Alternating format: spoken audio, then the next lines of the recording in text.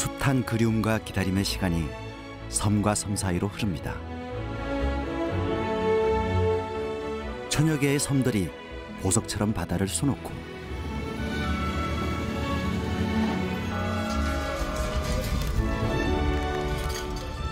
풍요의 바다에는 생명의 기운과 진한 삶의 향기가 묻어납니다.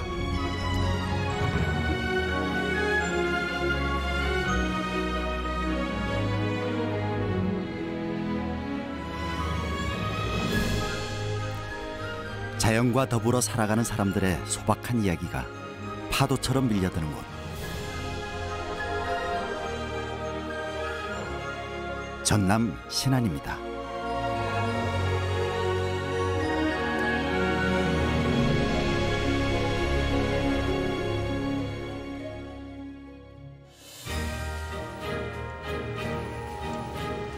서남쪽 다도해를 마주하는 목포 연안 여객선 터미널입니다. 신안으로 가는 길목인데요. 신안은 군 전체가 섬으로 이루어진 곳입니다. 육지와 다리로 연결된 섬도 있지만 대부분은 이렇게 목포에서 배를 타고 들어가야 하죠. 새벽부터 여객선에 오르는 사람들이 꽤 많았는데요. 신안하면 떠오르는 흑산도로 가는 배도 바로 이곳에서 출발합니다.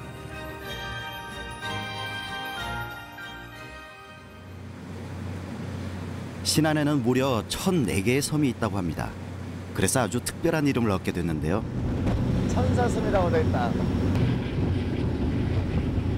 야, 여기가 섬이 하도 많으니까 천사섬. 섬이 천네 개 정도가 되니까 천사섬이라고 그러는구나. 천네 개 천사. 아, 야, 진짜 섬 많다. 이름부터 아름다운 천사섬. 과연 어떤 풍경들을 품고 있을지 기대가 컸는데요. 목포에서 출발한 지 2시간. 크고 작은 바위 섬들 너머로 흑산도가 눈에 들어옵니다. 불과 2년 전만 해도 흑산도 전체를 둘러보려면 항구에서 다시 유람선을 타야 했습니다. 섬 전체가 산이라서 차가 다니기 힘들었기 때문인데요. 하지만 흑산 일주도로가 완공되면서 어느 곳이든 갈 수 있게 됐죠. 여기 흑산도는 길이 직선 도로가 없구나. 어. 그래서 매번 길마다 다른 풍경이 펼쳐질 수밖에 없어요. 1984년 공사를 시작해 무려 27년 만에 완공된 흑산 일주도로. 험한 능선을 따라 길을 내다보니 이렇게 굴곡이 심한 구간도 많았는데요. 흑산항에서 상나봉 전망대로 이어지는 이 도로는 용이 산을 올라가는 모습을 닮았다고 해서 용곡이라고 불립니다. 12굽이 고갯길을 오르니 그림 같은 풍경이 눈앞에 펼쳐집니다. 보기만 해도 아찔한 용곡에도 아름다운 풍경에 한 몫을 하고 있었는데요. 야 여기서 보니까 진짜 이 꼬불꼬불한 길을 다 올라온 거네. 야 정말 길도 이쁘고 여기가 해발 한 230 정도 된다는데 다른 산 230m는 별로 볼 게 없는데 여기는 와 앞이 뻥 뚫려서 섬 전체가 눈에 그냥 확 들어오네. 아 멋지다. 높, 웬만한 높은 산 정상보다 훨씬 멋있네. 다도해의 절경을 품은 흑산도. 섬 전체를 뒤덮은 울창한 상록수림 덕분에 부르다 못해 검푸르게 보인다고 해서 흑산이라는 이름이 붙었다고 하는데요.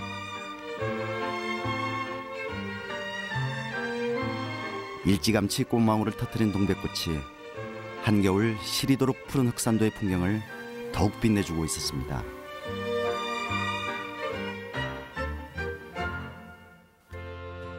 상나봉 전망대에는 흑산도 아가씨의 눈물도 서려 있습니다. 야, 그 유명한 노래가 바로 여기 시작됐구나. 아득하게 먼 육지를 그리다 가슴이 검게 타버렸다는 흑산도 아가씨. 1960년대 흑산도에서는 전국 최대 규모의 조기 파시가 열렸습니다. 하루에 2천여 척의 배가 들어올 정도였다는데요. 당시 항구의 풍경은 웬만한 도시의 번화가 못지않았죠.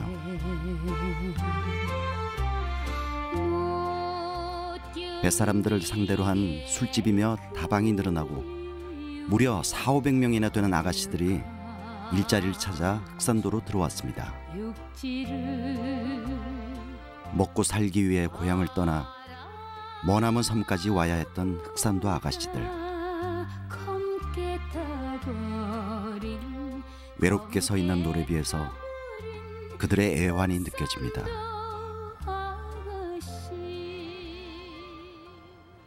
상나봉을 넘으면 사너리 절벽을 따라 아찔한 해안도로가 이어집니다. 바다와 얼굴을 맞댄 채 달리는 해안도로는 배를 타고 보는 것과는 또 다른 흑산도의 절경을 보여줍니다. 그 중에서도 특히 눈길을 끄는 것이 있었는데요. 바위에 뚫린 구멍이 한반도를 닮았다는 지도 바위입니다. 자연의 힘만으로 저런 모양이 만들어졌다니 참 신기하죠. 섬을 반바퀴 돌아오니 작은 포구와 마을이 보입니다. 흑산도에서 가장 아름다운 어촌이라는 사리마을입니다. 포근한 느낌이 드네 동네 들어오니까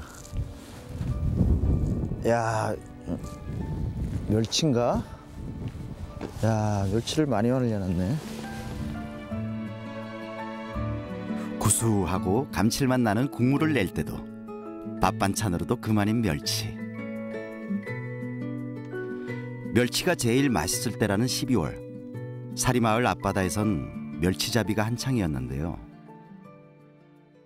마침 조업에 나서는 배가 있어 얼른 올라탔습니다. 안녕하세요 예 일로 타면 돼요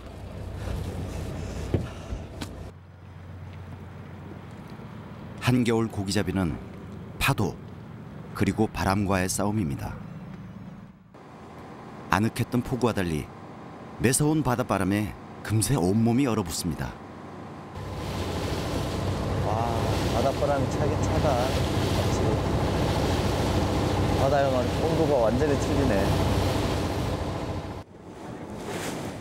그렇게 30여 분을 달린 끝에 마침내 배가 멈춥니다. 멸치잡이는 대개 낭장망이라는 것을 이용하는데요. 물살이 빠른 곳에 미리 그물을 쳐놨다가 걸려던 멸치를 끌어올리는 방식입니다. 기록적인 한파와 강풍 때문에 일주일 만에 조업에 나섰다는 어부들. 그 기다림에 보답이라도 하듯 그물에서 은빛 멸치가 한가득 쏟아져 나옵니다. 오, 야 신선하다. 와, 야, 갑판을 가득 채워가는 멸치들을 보니 야. 지켜보는 제 마음이 다 뿌듯해집니다. 와, 야, 진짜 많다. 야, 살아있는 멸치는 또 처음 보네. 파닥파닥 되는구나. 말린가 완전히 틀리다. 색깔이 반짝반짝해 진짜 이뻐.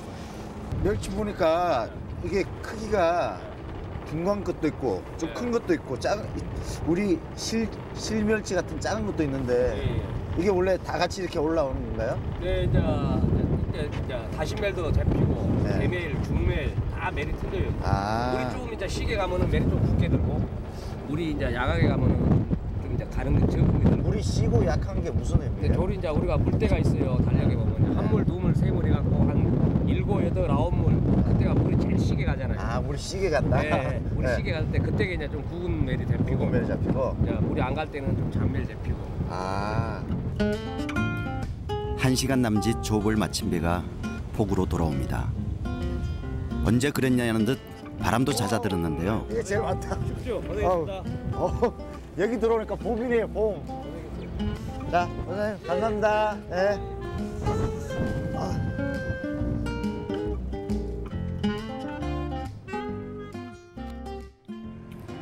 잡아온 멸치는 곧바로 건조 작업에 들어가는데 그 방법이 좀 색다릅니다.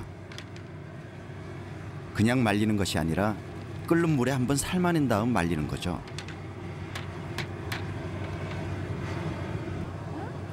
난생 처음 보는 광경이 신기하기만 합니다.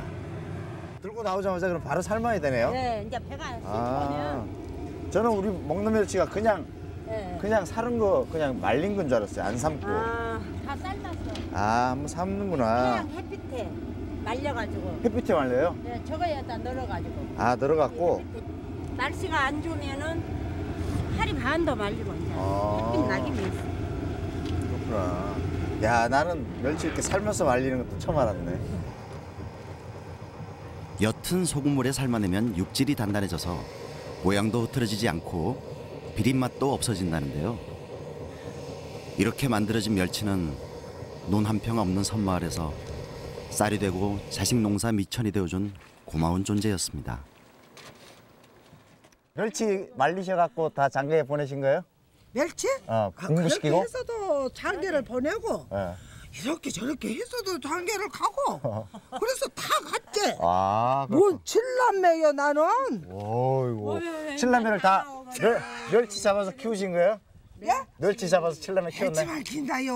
오만 팔도를 다 하지. 미역도 하고 해서 아. 우리 자식들 다 별쪽이도 하고 그래. 흑산도 앞바다로 다 먹이 응, 살려주셨네. 그랬지. 응, 흑산 나갔으가. 흑산도 아가씨네. 그렇지. 우리가 흑산 나갔으지 그러면. 아, 그 노래의 주인공이 바로. 그러면 흑산도 아가씨. 아.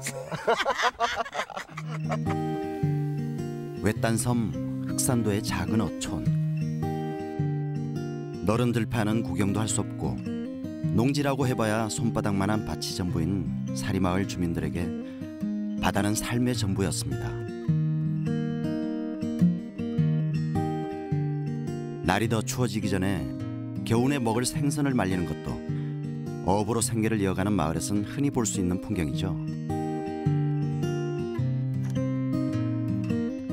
흑산도 근해는 한류와 난류가 교차하는 지역이라 사시사철 다양한 물고기들이 잡히고 있는데요.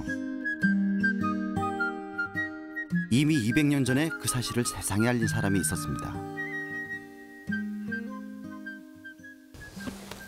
여기는 또 무슨 서원 같기도 하고 서당 같기도 하고 여기는 어떤 곳인가요?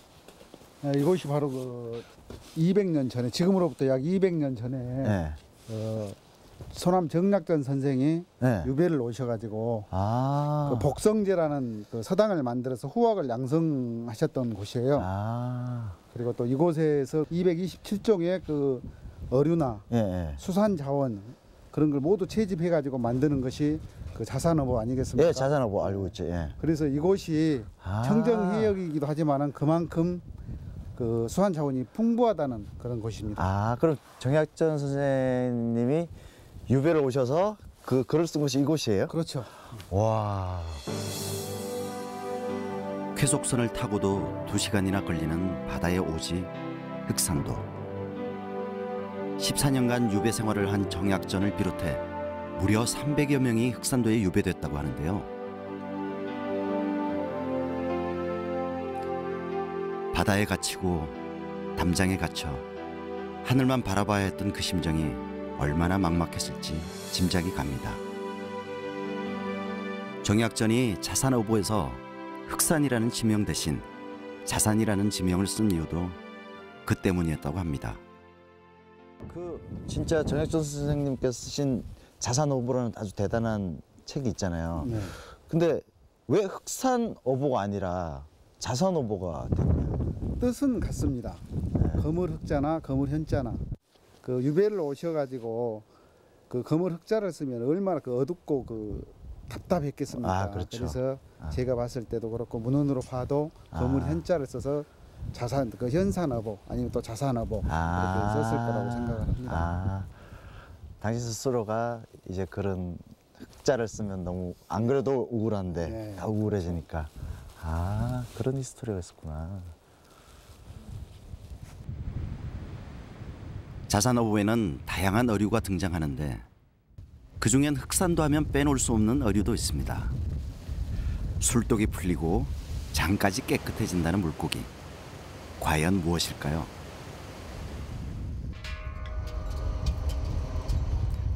망망대해에 닻을 내린 어부가 바다에서 뭔가 열심히 끌어올립니다. 미끼를 쓰지 않고 낚싯줄에 달린 바늘만으로 물고기를 낚는 준학입니다. 이런 바늘 수천 개를 물고기가 다니는 길목에 뿌려두었다가 건져 올리는 방식이죠.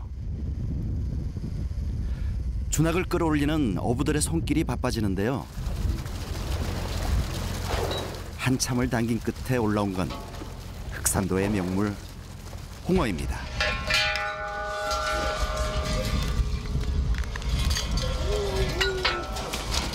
진짜 홍어요. 흑산도가 홍어 산지로 유명해진 이유는 9월에서 이듬해 3월까지 산란을 하기 위해 연평도로 올라가는 홍어들이 흑산도 그네를 거쳐가기 때문입니다. 모든 생선들이 그렇듯이 홍어도 산란기가 되면 살이 오르고 육질이 부드러워져 최상의 맛을 내는데요.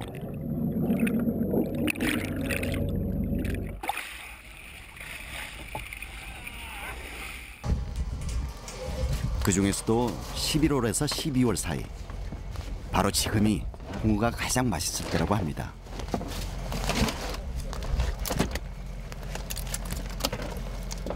홍어하면 역시 코끝이 알싸해지는 곰삭은 맛이 먼저 떠오르는데요.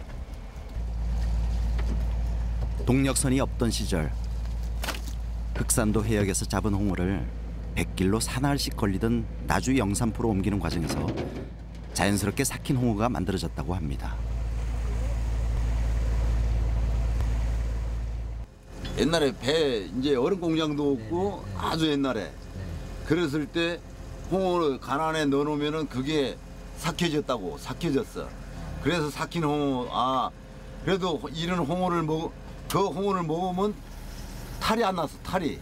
그러니까 아 이건 삭혀서 먹는 홍어다. 그래가지고 이제 어, 떤 어떤 사람이 어부 하여튼 알게 돼가지고 이제 이게 전국적으로 퍼지게 된 거지 삭힌 삭힌 홍어가. 밤이 깊도록 작업은 계속됩니다. 한 번 홍어잡이를 나가면 뿌려둔 준학을 거두며 사나흘씩 바다에 머무는 일도 다반사입니다.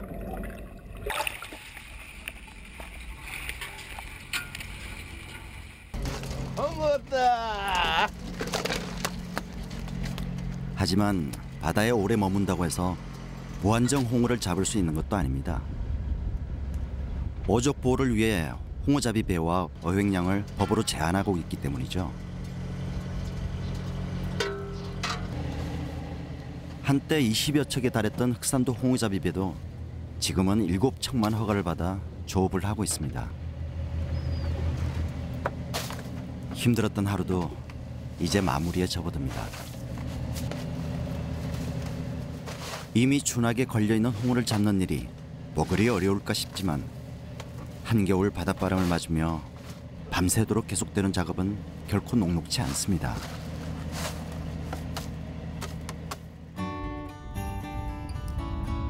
어느덧 날이 밝아오고 밤샘 작업을 마친 선원들이 겨우 한숨을 돌립니다. 한번 준학을 걷기 시작하면 멈출 수가 없기 때문에 제때 식사를 하기도 어려운데요. 거의 손장실에서 처음 나오시는 것 같아요. 나올 시간이 없어. 오줌 들 시- 오줌 들 시간도 없는데. 식사하신다면 이렇게 잠깐 그러니까. 그렇게 3일간의 조업을 마친 배는 만선의 기쁨을 안고 항구로 돌아갑니다. 흑산도 홍어는 흑산항에 있는 수협 위판장에서만 거래가 됩니다. 그런데 홍어라고 해서 다 같은 홍어가 아니라는데요. 어부들이 최고로 치는 것은 크기, 맛, 가격 면에서 수컷보다 월등한 암컷입니다. 그러지. 왜요? 거기는 암내 훨씬 커. 뭔 생선이고. 경매가 시작되기 전에 가장 먼저 하는 일도 암수를 구분하는 작업입니다. 흑산도 홍어는 국내에서 유일하게 생산 이력제를 도입하고 있는데요. 바코드에 홍어의 무게와 암수, 생산 일자 등의 정보를 넣어 철저한 품질 관리를 하고 있습니다. 명품 흑산도 홍어라는 말도 그래서 나온 거겠죠. 가격이 이거는 수컷은 암컷의 3분의 1 가격으로 보시면 돼요. 수컷 한 마리가. 홍어의 본고장답게 흑산항 부두에는 홍어 도매상과 음식점들이 즐비합니다. 공기가 진짜 좋다. 흑산도라 홍어집들이 전부구나. 항구에 있는 식당만 40여 개라고 하는데 그 앞을 지나는 것만으로도 벌써 코끝이 찡한 게 홍어 특유의 향이 느껴지는 것 같았습니다.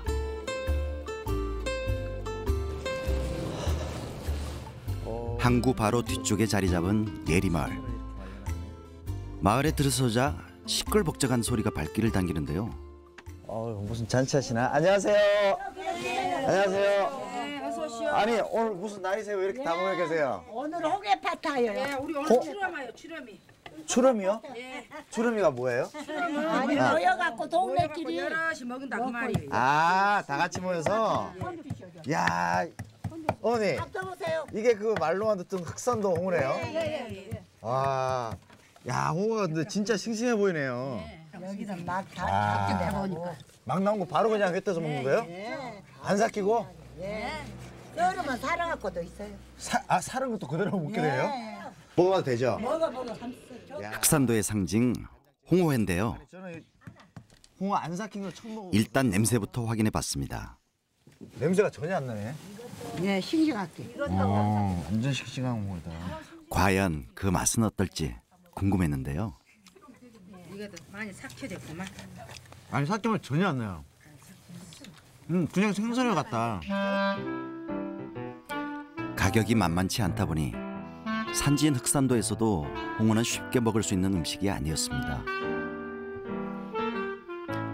명절이나 제사처럼 특별한 날에만 먹던 홍어의 맛은 깊고 진한 추억으로 남아 있었는데요.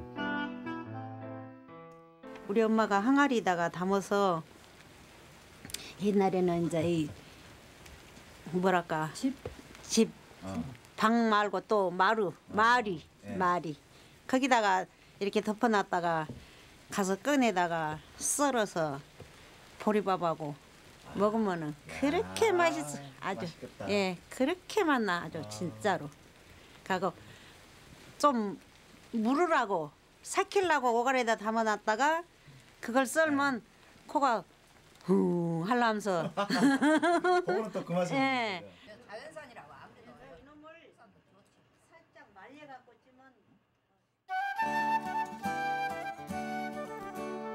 흑산면에는 또 하나의 보석 같은 섬이 있습니다. 바로 홍도입니다. 섬 전체가 천연기념물로 지정되어 있는 홍도. 추운 날씨에도 홍도의 비경을 보러 온 관광객들이 꽤 많았습니다. 선착장에 내리면 지중해의 어느 마을을 보는 것처럼 이국적인 풍경이 먼저 눈길을 끄는데요. 홍도의 아름다운 풍경은 최근 한국관광공사에서 선정한 국내 100대 여행지 가운데 1위로 꼽히기도 했습니다. 하지만 홍도의 진면목은 배를 타고 나가야 만날 수 있습니다. 선착장에서 유람선을 타면 이른바 홍도 십경이라고 하는 홍도 해안의 절경들을 둘러볼 수 있는데요.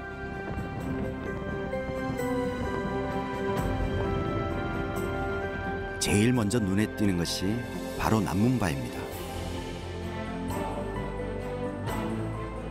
고깃배가 이곳을 지나가면 물고기가 많이 잡힌다고 해서 어부들 사이에서는 행운의 문이라고도 불립니다.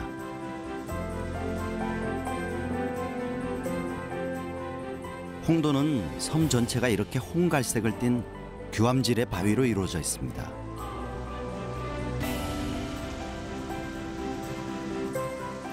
석양이 들이오면 더욱 붉게 보인다고 해서 홍도라는 이름이 붙었다고 하는데요. 신비로운 색감의 기암 괴석들이 빚어내는 풍경에 감탄사가 절로 나옵니다. 유람선을 타고 가다 보면 뜻밖의 즐거움도 있습니다. 홍도 어민들이 갓 잡은 생선을 즉석에서 회로 만들어 파는 건데요. 청정해역에서 잡아올린 생선이라 그런지 더 싱싱해 보입니다. 해녀들이 딴 자연산 전복도 있었는데요.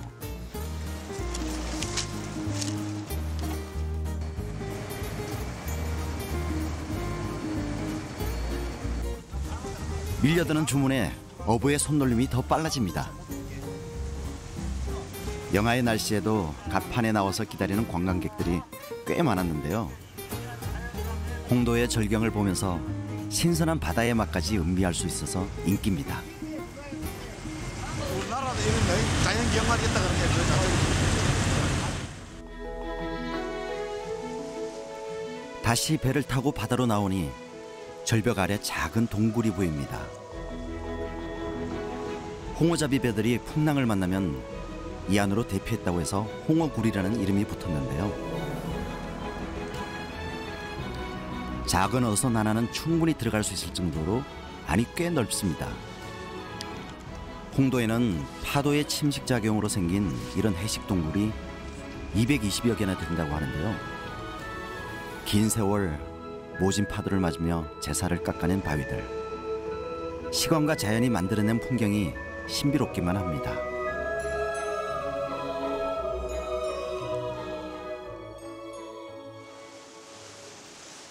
홍도의 주민 수는 500명이 채 안 됩니다. 그중 40여 명이 이구 마을에 살고 있죠. 주민들 대부분은 60대 이상의 어르신들인데요. 바다에 나갈 엄두조차 나지 않는 한겨울. 홍어잡이 준학을 푸는 일은 마을 어르신들의 유일한 소일거리입니다. 준학통 하나에는 바늘이 450개나 들어가는데요. 배에서 준학을 뿌릴 때 걸리는 것이 없도록 바늘을 순서대로 꽂는 것이 중요합니다.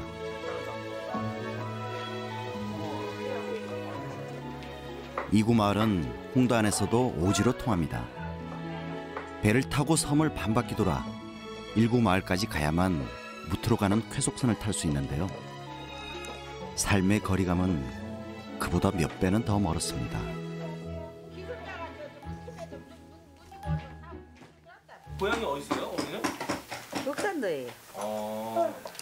흑산도인데 어떻게 이쪽으로 오게 되셨어요? 중매했지. 지금 들어와 보시니까 어떠셨어요? 네? 들어와 보시니까 어떠셨어요? 그때는 원망했지. 어, 왜요? 왜요? 이렇게 섬 있게 똑 들어있어. 푸란 물만 보이고 아무것도 안 보인대. 그때는 이저 상부선이라고 배가 있었어요. 여기서 무슨 일정하면은 거쳐갖고 가고 그런 배가 있었어요. 그래서 그거다 이제 신발 같은 것도 붙여서 내가 붙여서 사다가 소지품 같은 것도 소지품 같은 것도 사오고 지나고 나면 모든 것이 추억일 뿐이라는 어르신들. 덤덤하게 털어놓는 지난 세월 위로 또 한 번의 겨울이 무심히 흘러갑니다. 무태소와 마찬가지로 섬에서도 겨울채비는 김장이며 장 담그는 일로 시작됩니다. 그런데 이곳의 장 담그는 방식은 좀 특이합니다. 메주를 띄우지 않고 삶아서 빻은 콩을 묵은 된장과 섞어서 만드는데요.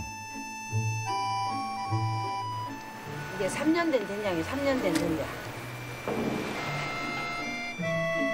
만드는 방법은 다르지만 된장독에 들이는 정성만큼은 똑같습니다. 된장 하나만 잘 만들어도 1년 내내 밥상 걱정을 던다는 말도 있죠. 여기서도 된장국을 많이 먹죠. 해초 뜯어다가 해초로 된장국도 많이 해 먹고 이제 밭에 뭐 나물 같은 거 뭐 그런 것도 된장국 많이 먹고 된장을 많이 먹죠.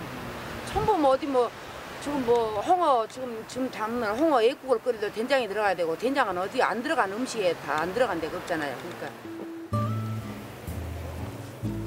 독에 넣은 된장은 그대로 1년을 숙성시켜야 먹을 수 있습니다. 항아리 안에 가득한 된장 덕에 스산한 겨울에도 밥상엔 따스하고 고소한 향기가 가득할 겁니다.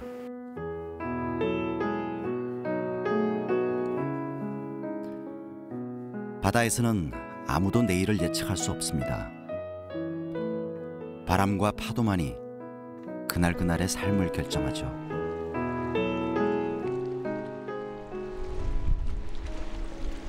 섬과 섬 사이로 흐르는 바다는 때로 백기를 맞고 삶을 단절시키지만 더없이 아름다운 풍경을 만들어내기도 합니다.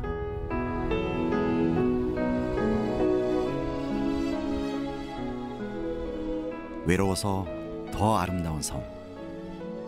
홍도의 겨울이 그렇게 깊어가고 있었습니다.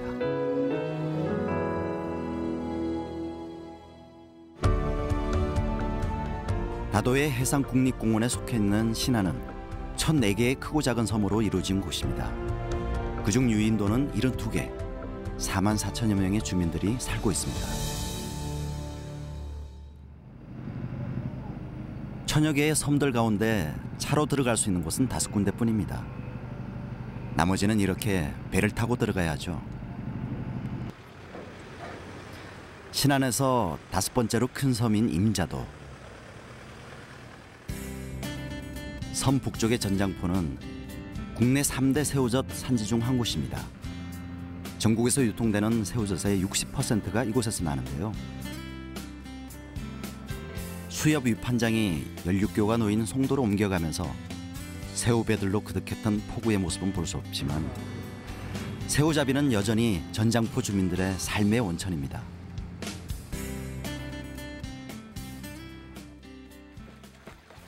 새우배가 들어오면 잡고기를 걸러내는 새우치기를 합니다.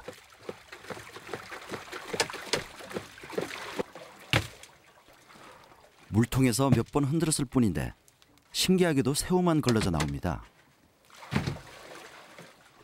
지금 북새우라고 북새우라고 이 새우를 지금 하고 잡, 그, 잡으려고 하는데 이 지금 여기- 여기서 하고 이 새우만 지금 분리하는 작업이에요 이 새우만 사투리로 북새우라고 부르는 붉은 새우는 겨울철에 잡히는 굵은 김장용 새우입니다. 광주나 마산에서 특히 많이 쓴다고 하는데요. 구멍 작잖아요. 작은 놈왜 빠져요? 요런 것은. 이거 더 굵기가 굵은 놈은 안 빠질 거 아니에요. 어. 분리가 되고 이렇게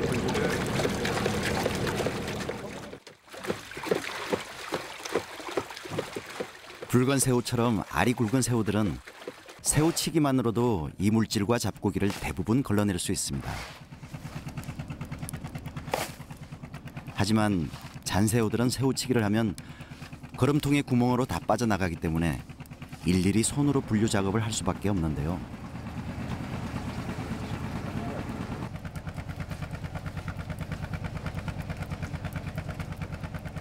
생새우의 생명은 신선도이기 때문에 신속한 작업이 필수입니다. 제대로 골라내는 걸까 싶을 정도로 빠른 손놀림이 새우잡이로 보낸 어부들의 시간을 짐작하게 합니다.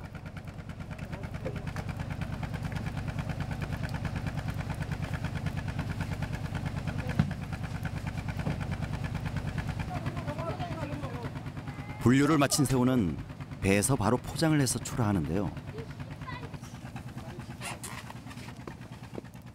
하얀색의 동백화는 겨울철 김장용으로 가장 많이 쓰이는 새우입니다. 이제 이 싱싱한 새우들을 전국의 식탁으로 배송하는 일만 남았는데요.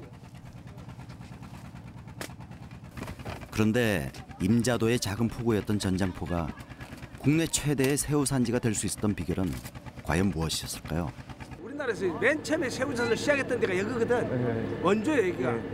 그 후로도 몇십 년 동안은 여기서만 새우가 났어요. 그런데 여기를 가면은 이 마을 전체가 마을 전체가 모래요 모래 하얀 백모래.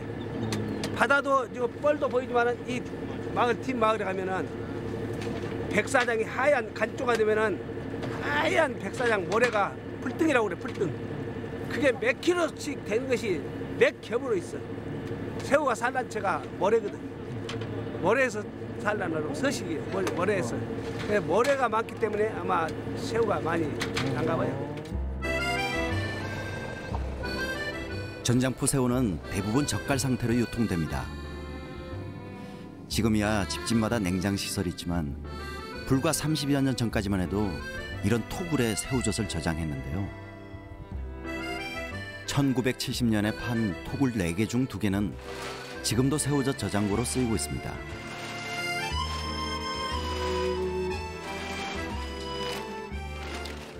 잘 숙성된 새우젓이 아주 먹음직스러워 보이는데요. 그런데 편리한 냉장고를 놔두고 왜 굳이 이 산소까지 와서 새우젓을 저장하는 건지 궁금했습니다. 겨울이고 여름이고 뭐 일정한 온도가 유지되죠. 그래가지고 온도가 유지되고 그것이 숙성되면은 맛이 자연상 그대로 들어요. 그대로. 그래서 아주 질이 좋고 맛 좋고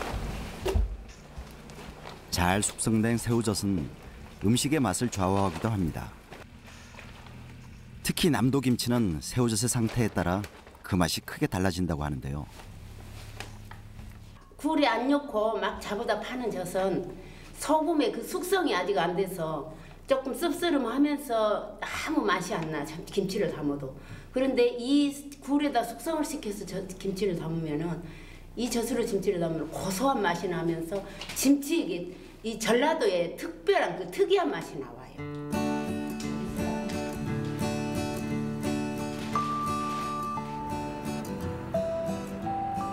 남도에는 겨울이 늦게 찾아옵니다. 겨울 채비의 시작인 김장도 다른 지역보다 한 달 가까이 늦게 시작하죠. 12월 중순 임자도 전장포에서는 집집마다 김장이 한창이었는데요. 발효 음식인 김치에 빠질 수 없는 것이 젓갈입니다. 지금 싸고 있는 대표적인 김장 젓갈이 새우젓인데 전장포에서는 오래전부터 새우젓과 함께 생새우를 갈아 넣어 김장을 해왔다고 합니다. 아무리 새우가 많이 나는 곳이라지만 생새우를 넣는 데는 그만한 이유가 있을 텐데요. 예, 생새우를 넣으면 더 달콤하고 맛있어요 김치가. 하 하나. 아 여기다. 이게 생새우 간 이거 거예요. 새우를 이렇게 갈아서요. 이 양념에다 그냥 버무려. 이렇게 버무려 갖고 임자도의 임자는 들깨의 한자식 표현입니다. 모래섬이라 들깨 농사가 잘 됐다고 해서 붙여진 이름인데요. 시집 온 지가 32년 돼가지거든요. 근데 처음에 오니까 물도 썩을썩을하고 응? 밥도 썩을썩을하고 김치도 썩을썩을해서 못 생겼잖아요. 물고 있다가 물도 짜서 못 먹겠고 사이다로 먹고 살았어. 처음에 와서 사이다나 콜라 음료수. 근데 이 방도 썩을썩을 어디든지 모래가 풍풍 빠졌어요. 근데 지금은 이제 막 도로에 아스팔 이렇게 세면도 해놓고 해서 안 보이는데 온 태가 모래라니까요. 그래가 바람 불면 눈썹에 모래가 다 붙어갖고 있어. 머리에 하얗게. 아가씨가 태어나서 시집 갈 때까지 모래를 서말 가면 먹어야 시집 간다고 옛날 말이 있어요. 예. 그렇게 요 여기 천지가 전작구 천지가 모래 사장이라. 이거 어떻게 양념 남쳐라고? 자, 이제 완성된 김치를 맛볼 차례인데요. 올 김장 김치가 어쩐가 간보쇼. 내가 나는 짜게 먹을 게간 모르는데. 아이 짭짤해요. 아이 생새비를 많이 넣어서 그런가 맛있어. 음 맛있구만. 아까 전기식 걸려놨어. 아무데도 쓸모없을 것 같던 임자도의 모래는 새우를 살찌우고 새우는 임자도 사람들의 삶을 지탱해 왔습니다.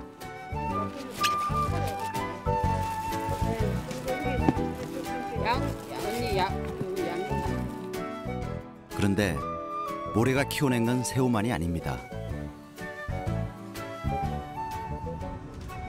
무태서는 추수가 끝나 논밭이 황량해지는 겨울. 전장포 마을의 밭은 계절을 잊은 듯 푸른 물결이 넘실거립니다.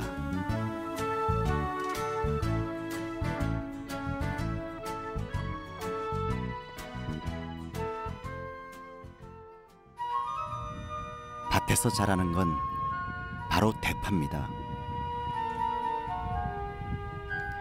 임자도는 전국 2대 대파 산지 중 한 곳입니다. 대파가 이렇게 잘 될 수 있었던 것도 다 모래 덕분이라는데요.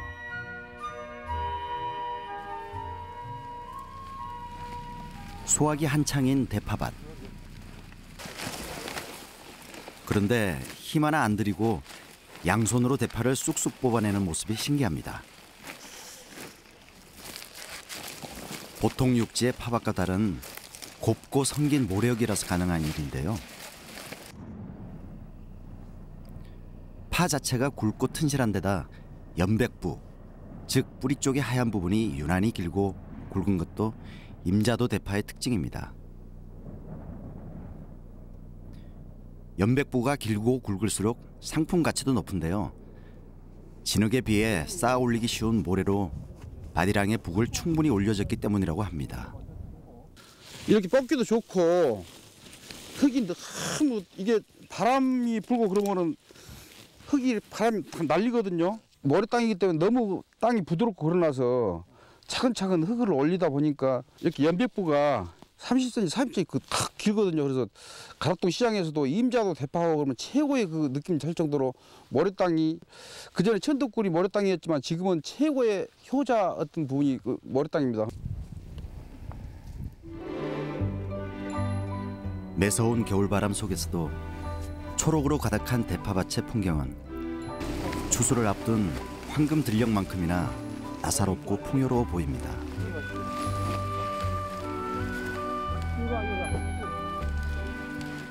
황무지나 다름없던 모래섬을 풍요로운 생명의 섬으로 일궈낸 임자도 사람들. 한겨울 임자도 대파밭에서는 새로운 희망이 익어갑니다.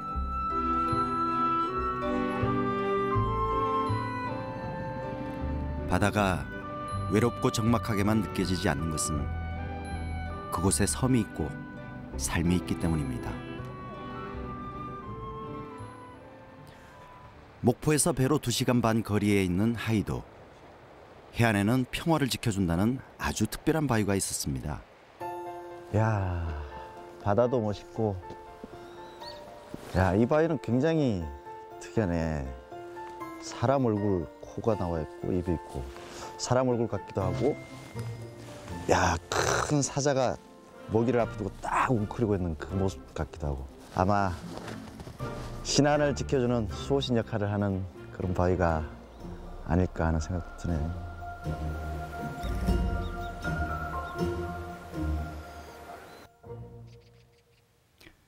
큰 바위 얼굴에 보호를 받고 있다는 하이도.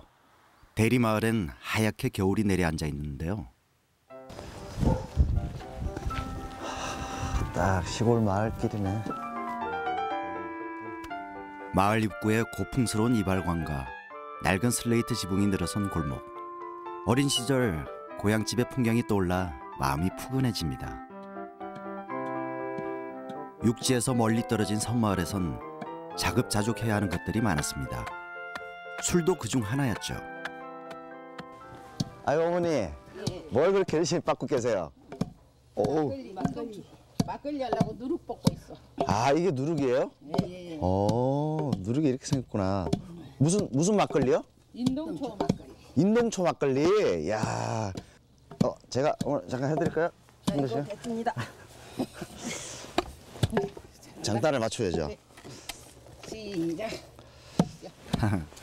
절구질이 생각만큼 쉽지는 않았는데요. 콩콩 나. 애끼고 있어 이모. 보시죠. 대를 이어 인동주를 빚어온 제갈향덕 할머니. 일반 막걸리와 다른 점은 술을 빚는 물이었는데요. 야 이거 호박이죠 어머니? 네, 호박. 호박이 너무 이쁘게 이렇게. 이걸 네, 인동초고. 됐다. 아 이게 인동초고. 네. 아 그렇구나. 아니 여기 지금 뭐 끓여 놓으신 거예요? 인동초 삶아놨어. 아 인동초를 삶았어요? 예 예. 우와 진짜 찐하겠다 이 정도로 끓이면. 아, 여기다 이제 약초 이것저것 넣어서 아. 인동초가 주 원료고 음. 예, 산사도 넣고 아 다른 약초도 들어가고 감초 넣고 음. 당기도 넣고 향이 되게 좋네요. 음 향이 좋아. 먹어봐도 돼요? 와 맛있다. 예? 어 되게 달면서 맛있네. 한번 먹으면 정이 없을 때두 번. 쌉싸래하면서도 달달한 맛이 아주 독특했는데요. 음.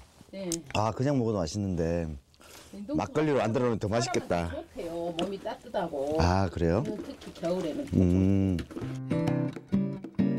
인동초 물과 누룩이 준비되면 밑 준비가 끝납니다.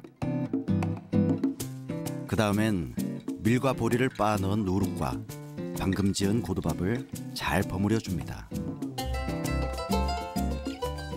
여기에 인동초 달인물을 넣어주면 되는데요. 무태 나가기 힘들었던 시절 빚어 마시던 인동주. 하지만 법으로 금지된 밀주이다 보니 웃지 못할 일도 많았다고 합니다. 그 이 마을에 그럼 전부 다 인동주를 다 만들었어요 옛날에는? 예, 옛날에는 막걸리 다 인동 좀 만들어 먹음시로 집에서? 어, 밀주 조사 오면 어. 술동이고 나랑론 속에다 꼼치고 아, 아 그때는 술 만드는 게 불법이니까. 그럼 아. 돈도 없고 어. 그래서 집에서 다 농사진 쌀 허리로 그때는 쌀이나 있었간디 아 쌀이 없어서 보리로. 보리로 어. 그럼 이거를 일고 가서 농사에 숨겨놓는다. 논에다 숨겨놓으면 동네 청년들이 밤에 퍼다 먹어보는 거야 술도둑이네. 술도둑 색깔이 곱다. 이렇게. 이렇게 비벼야 돼 술은 음 이렇게 하면 잘 떠 항아리에 누룩 반죽을 다져넣고 인동초 달인 물을 부은 후 3일에서 일주일 정도 발효시키면 술이 완성됩니다. 뽀얀 일반 막걸리와는 달리 갈색이 나는 인동주. 그윽한 향이 집안 가득 퍼지는데요. 잘 익은 막걸리 한 잔. 안 마셔보면. 서운하겠죠. 야 맛이 엄청 깊네요. 야 안주 막걸리 맛하고. 어, 월매야지 미술 안주 한번 먹어 음. 음. 막걸리가 맛이 여러 맛이 나요. 인동초 그래서 같죠. 인동초를 대학 음. 옛날거나 해서 먹는 거 음. 음. 하이도에서 옛날부터 빚어 마시던 막걸리에 인동주라는 이름이 붙은 건 1997년 무렵입니다. 그해 겨울 김대중 전 대통령이 당선된 것을 기념해 그의 호처럼 쓰이던 인동초라는 이름을 쓰게 된 건데요. 김 전 대통령은 하이도에서 태어나 유년 시절을 보냈습니다. 대통령의 모든 역사가 여기 다 있구나.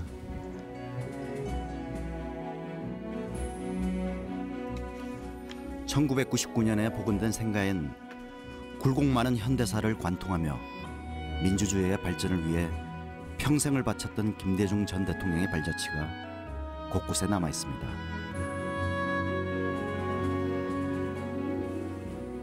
가난한 농부의 아들로 태어난 김 전 대통령은 12살 때 목포로 유학을 떠나기 전까지 이곳에서 평범한 어린 시절을 보냈습니다.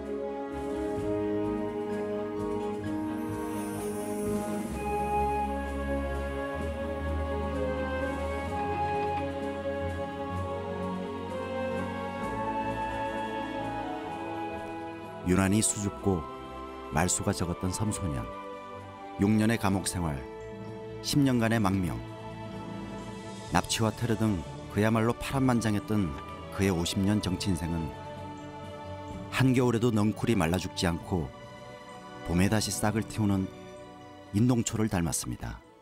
김대중 대통령께서는 네. 대통령 취임하신 이후에 네. 사실은 이 고향 방문을 못 하셨어요. 아 고향을 못 네. 오셨구나. 너무 큰 정치 하시느라 마을 정치를 못 하셨어요. 아. 너무 위대하신 분이에요. 예. 아. 그래서 이제 돌아가시기 사실은 3, 4개월 전에 네. 여기를 직접 다녀가셨어요. 마지막으로. 응. 어. 그래서 이제 그때 이 모습을 보시면서 네. 이 집이 생각나신다고 이렇게 말씀하시대요. 어, 네, 그래서 이제- 생각나시겠죠, 네, 어릴 때. 그래서, 예, 어릴 때 추억이 음. 있었는지 눈물이 글썽하셔가지고 음. 가시던 모습이 진짜 눈에 선하네요. 아 예. 그러셨구나. 2009년 봄 고향을 찾았던 김대중 전 대통령은 다시는 고향 땅을 밟지 못한 채 역사 속으로 영면했습니다. 하이도 주민들이 김대중 전 대통령의 얼굴이라고 믿고 있는 큰 바위 얼굴.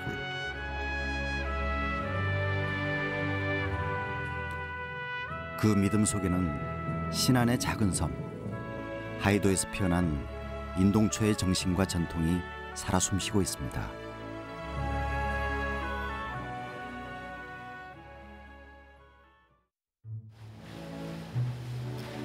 외딴 섬마을의 시간은 더디게 흘러갑니다. 사람들이 살아가는 모습도 쉽게 바뀌지 않죠. 섬에서는 보기 힘든 너른 평야 한가운데 자리 잡은 비금도 내올리는 옛 모습을 그대로 간직한 마을입니다. 마을엔 수백 년 전부터 해풍을 막기 위해 설치한 돌담이 그대로 남아 있는데요. 돌담을 둘러싼 풍경들이 참 정겹습니다. 그런데 세월을 잊은 것 같은 풍경은 돌담만이 아니었습니다. 야 한겨울에 뭐가 이렇게 파릇파릇한가?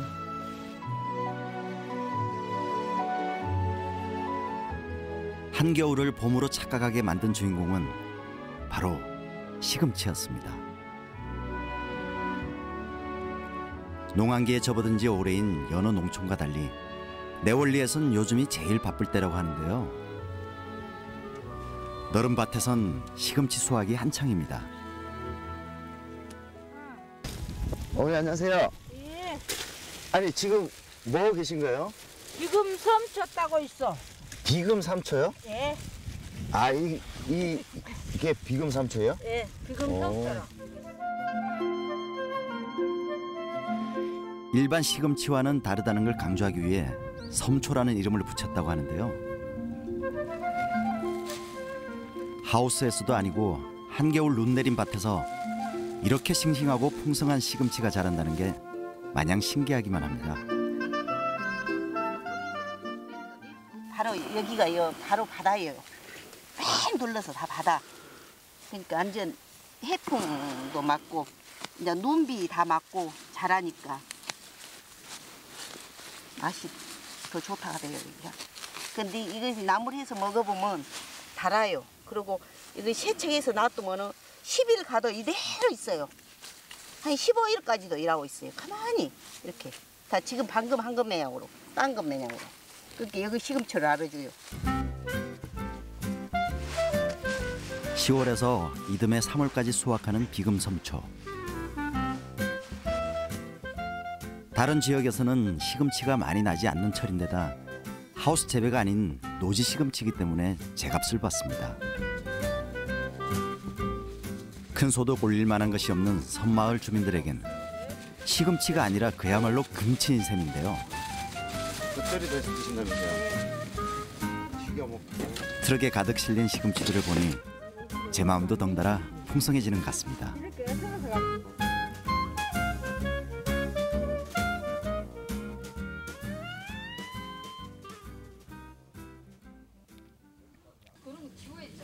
수확한 시금치는 바로 다듬어서 다음날 새벽 출하를 하는데요.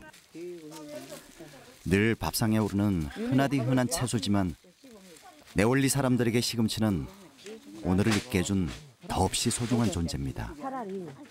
저실에는 이것밖에 안 나요. 아. 그랑께 예. 이것을 해갖고 예. 아들도 결쳐서 다 대- 도시로 나가서 살고 아, 살고 도시로 예, 나가서. 예, 그런데 이제 할 머니만 이렇게 남아갖고 아. 그러니까 늙어서도 이제 손질해도 주려고 또 이지랄을 하고 있어.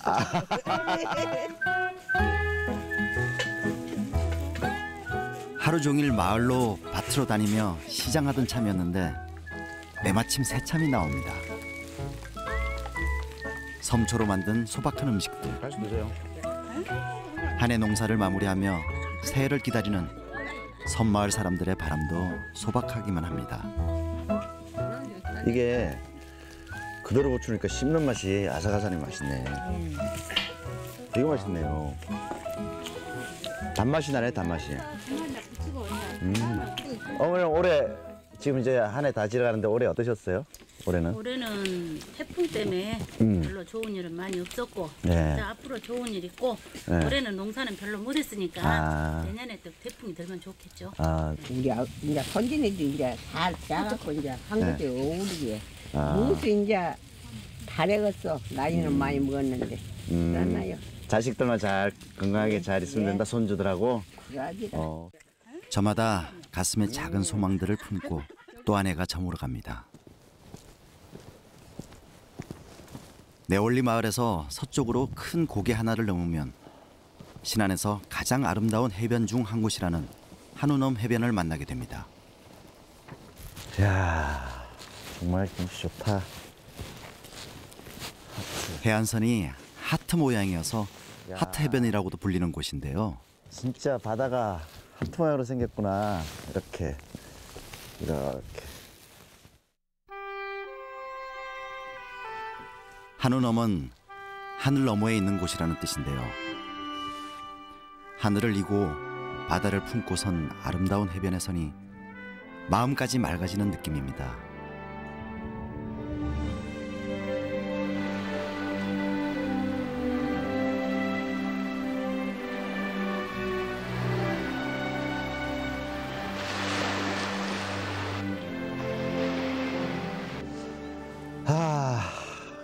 우리나라에서 가장 해가 늦게 진다는 신안에서 일몰을 보니까 참 다사다난했던 올 한 해가 생각이 납니다. 힘들었던 일을 다 저 지는 해하고 같이 보내시고 이 신안의 자연의 맑은 기운을 받아서 내년엔 좋은 일들만 가득하시길 바라겠습니다. 하...